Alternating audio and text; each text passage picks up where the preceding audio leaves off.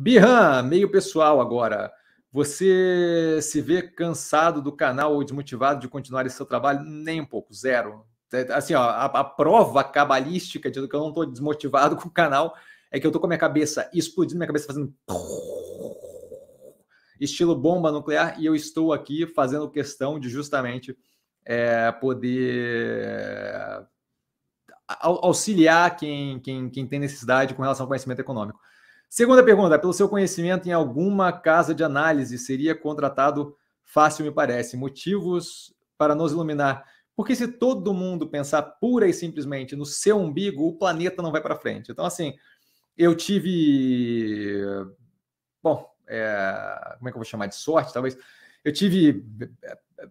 A sorte, é, vou chamar de sorte. Assim, por falta de uma palavra melhor, eu vou chamar de sorte. Não sou do tipo. Eu sou mais Sêneca, que, que diz que sorte não é do que preparação e e comprometimento no mesmo espaço de tempo, ou uma variante disso, mas vou chamar de sorte por falta de uma palavra melhor agora, minha cabeça não está conseguindo encontrar outra palavra, tá?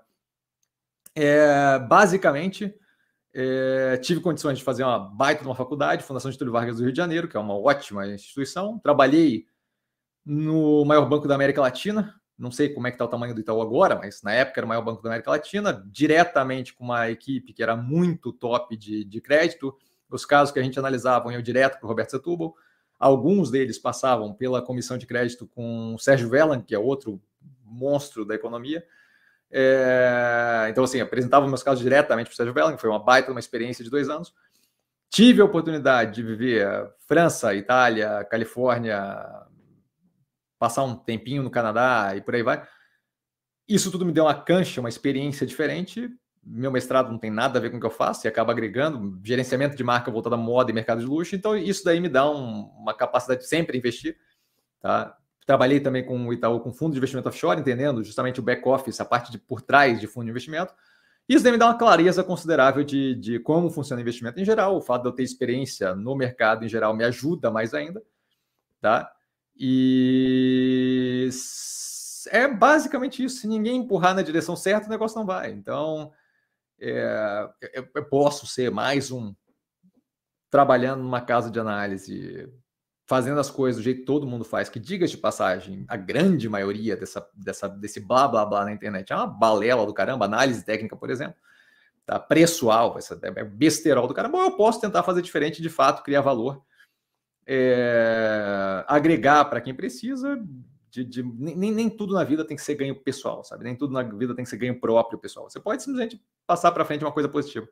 Então, basicamente é isso. Basicamente a ideia é eu vou fazer toda essa análise de notícia, de podcast, de empresa, de qualquer forma. O que me custa fazer no canal é duas horas de live por semana e editar os vídeos, que de fato é um pé nos ovos, mas assim é, é um custo pequeno para pagar, para ter, para ter a capacidade de auxiliar a gente, que naturalmente no Brasil tem um déficit de ensinamento financeiro, de educação financeira que, que tem que ser coberto de alguma forma.